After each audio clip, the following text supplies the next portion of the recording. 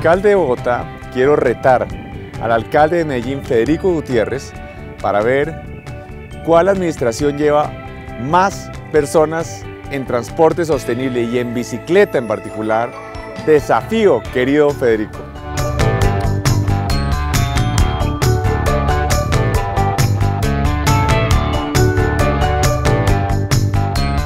Bueno, desde Medellín estamos comprometidos con la movilidad sostenible y hemos recibido un buen reto de Enrique Peñalosa y de la Administración de Bogotá y lo vamos a aceptar desde Medellín y es, vamos a ver cuál administración mueve más gente en bicicleta.